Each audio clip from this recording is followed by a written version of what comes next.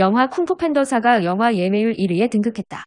쿵푸팬더사는 영화관 입장권 통합 전산망 기준 현재 상영 중인 파묘 댓글 부대 등을 제치고 전체 영화 예매율 1위에 올랐다. 사전 예매량은 43,284장을 기록했다. 이는 드림웍스 시리즈 장화시는 고양이 끝내주는 모험 예매량 2만 630장의 2배 이상의 예매량이다. 쿵푸 팬더사는 모든 쿵푸 마스터들의 능력을 복제하는 빌런 카멜레온에 맞서기 위해 용의 전사인 자신마저 뛰어넘어야 하는 포의 새로운 도전